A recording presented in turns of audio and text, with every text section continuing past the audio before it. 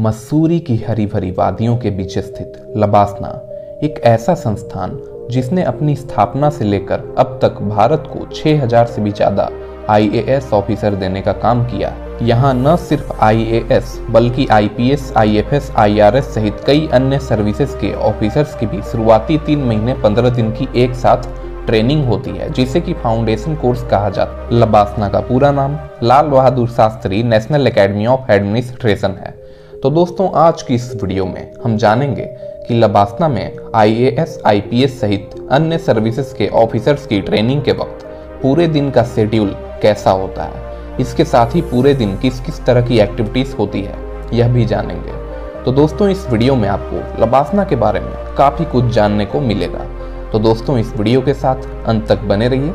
चलिए दोस्तों वीडियो शुरू करते हैं। सुबह के पाँच बजे हैं। और इस तरह से लबासना में एक नए दिन की शुरुआत हो चुकी है। अलार्म बजने के साथ ही ऑफिसर ट्रेनिस की नींद खुलती है। नींद से जागने के बाद सभी ऑफिसर ट्रेनिस 5:45 तक फ्रेश हो जाते हैं। फ्रेश होने के बाद ऑफिसर ट्रेनिस ट्रैक सूट पहनकर पोलो ग्राउंड के लिए जल्दी से पोलो ग्राउंड में पहुँचने के बाद सभी ऑफिसर ट्रेनिस को तकरीबन एक घंटे तक कई तरह की एक्सरसाइज करवाई जाती है, जैसे रनिंग और जॉगिंग। इसके साथ ही कई अलग अलग तरह की योगा एक्सरसाइज भी करवाई जाती है। इस तरह से लगभग सुबह के सात बज चुके हैं। योगा एक्सरसाइज करने के बाद ऑफिसर ट्रेनिस वापस अपने हॉस्टल की ओर जाते हैं। हॉस्टल पहुँचने के बाद ऑफिसर ट्रेनिस सबसे पहले सुबह की चाय का आनंद लेते हैं और उसके बाद अपना बचा हुआ पेंडिंग वर्क पूरा करते हैं। इसके बाद ड्रेस कोड के अनुसार वो तैयार होते हैं। कई बार ऑफिसर ट्रेनिस को ड्रेस कोड को लेकर कंफ्यूजन भी हो जाता है। कि आज कौन सा ड्रेस पहने ऐसा इसलिए क्योंकि मंडे और ट्यूसडे को कोट ट्राउज़र के साथ नेक टाई पहनना कंपलसरी होता है, जबकि बाकी दिन नेक टाई पहनना ऑप्शनल होता है। इसके अलावा सेरेमोनियल लोकेशंस के वक्त ब्लैक जोधपुर सूट पहनना कंपलसरी होता है। सुबह के साढ़े आठ बज चुके हैं। ड्रेस कोड के अनुसार तैयार होने के बाद ऑफिसर ट्रेनिस ब्रेकफास्ट के लिए एकेडमी की कर्मशिला बिल्डिंग की ओर जाते हैं। कर्मशिला बिल्डिंग में ही ऑफिसर्स मेस है। खास बात यह है कि इसी बिल्डिंग में लाइब्रेरी भी है। मेस में पहुँचने के बाद सभी ऑफिसर ट्रेनिस ब्रेकफास्ट करते हैं। ब्रेकफास्ट करते हुए ऑफिसर ट्रेनिस मेस की खिड़की से बाहर का अद्भुत दृश्य देखते हैं, जो कि है। ब्रेकफास्ट करने के बाद सभी ऑफिसर ट्रेनिस ज्ञानशिला बिल्डिंग की ओर जाते हैं। ज्ञानशिला बिल्डिंग लबासना का एक अहम हिस्सा है। ऐसा इसलिए क्योंकि ज्ञानशिला बिल्डिंग में ही ऑफिसर ट्रेनिस की सभी तरह की क्लासेस होती है। इस तरह से सुबह के साढ़े नौ बज चुके हैं। ऑफिसर ट्रेनिस की क्लास शुरू होने का समय हो चुका एकेडमी में ऑफिसर ट्रेनिस को कई तरह के सब्जेक्ट्स पढ़ाए जाते हैं, जिसमें कि political science public administration law economics management and behavioural science history and culture और एक लैंग्वेज पेपर की भी क्लास होती है। लबासना में ऑफिसर ट्रेनिस की क्लासेस शुरू हो चुकी है। साढ़े नौ से साढ़े दस बजे तक पहली क्लास चलती है, उसके बाद दूसरी क्लास साढ़े दस बजे से शुरू होती है, जो कि साढ़े ग्यारह बजे तक चलती है। दो घंटे लंबी चली क्लासेस अटेंड करने के बाद ऑफिसर ट्रेनिस को साढ़े ग्यारह बजे से हाफ़ एन आवर का टी ब्रेक दिया जाता है। इस दौरान ऑफिसर ट्रेनिस क्लासेस से बाहर आते हैं और इसी कैंपस के ए एन झा प्लाजा से जाकर चाय पीते हैं। चाय पीने के दौरान अपने दोस्तों से क्लासेस में पढ़ाए गए कई विषयों को लेकर चर्चा भी करते हैं। आधे घंटे का टी ब्रेक समाप्त होने के बाद सभी ऑफिसर ट्रेनिस अपने क्लासेस की ओर जाते हैं। इस तरह से दोपहर के 12 बज चुके हैं। ऑफिसर ट्रेनिस की क्लास फिर से शुरू होती है। 12 बजे से 1 बजे तक पहली क्लास चलती है, उसके बाद 1 बजे से दूसरा लेक्चर शुरू होता है, जो कि एक घंटे तक चलता है। दोस्तों, लबासना तक पहुँचने के लिए UPSC civil service exam pass करना ज़रूरी होता है। एग्ज़ाम पास करने में ऑप्शनल पेपर्स की भी एक काफ़ी महत्वपूर्ण भूमिका होती है। तो दोस्तों, नीचे आप कमेंट बॉक्स में यह कमेंट करके बताओ, अगर आप यूपीएससी सिविल सर्विस एग्ज़ाम की तैयारी करोगे तो इनमें से एक, किस सब्जेक्ट को अपने ऑप्शनल पेपर के रूप में सेलेक्ट करोगे? नीचे कमेंट में बताएँ।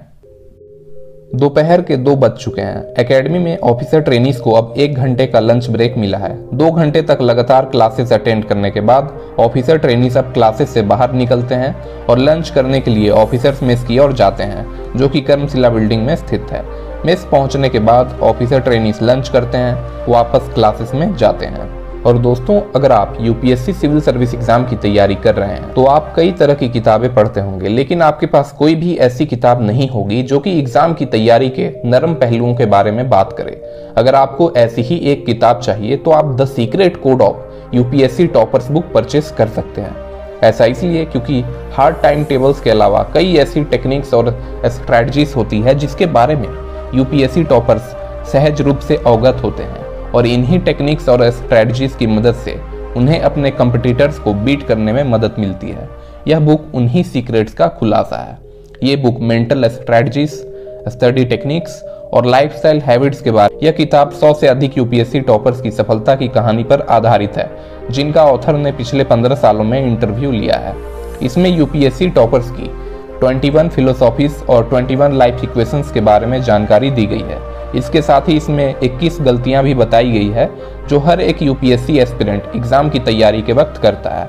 यह बुक न केवल परीक्षा पास करने का रोड मैप है, बल्कि आपको एक आई ऑफिसर की तरह जीने के लिए भी तैयार करता है। तो दोस्तों, अगर आप इस बुक को परचेस करना चाहते हैं तो नीचे डिस्क्रिप्शन बॉक्स में लिंक है। लिंक पर क्लिक करके आप इस बुक को अमेजोन या फ्लिपकार्ट से परचेज कर सकते हैं। अब वीडियो पर वापस। दोपहर के तीन बज चुके हैं। ऑफिसर ट्रेनिंग की क्लास फिर से शुरू होती है। यह क्लास एक घंटे तक चलती है। इस तरह से चार बज चुके हैं। ऑफिसर ट्रेनिंग की क्लास खत्म होती है। क्लास खत्म होने के बाद ऑफिसर ट्रेनिंग की अब ईसीएम की क्लास होगी। ईसीएम यानी एक्स्ट्रा करिकुलर मॉड्यूल। ईसीएम में कुल पंद्रह तरह की स्किल्स होती है, जिसमें से किसी एक ही स्किल को ऑफिसर ट्रेनिंग को अपने इंटरेस्ट के अनुसार सेलेक्ट करना होता है। ऑफिसर ट्रेनिंग जो भी स्किल सेलेक्ट करते हैं, उसी की क्लास उन्हें अटेंड करनी होती है।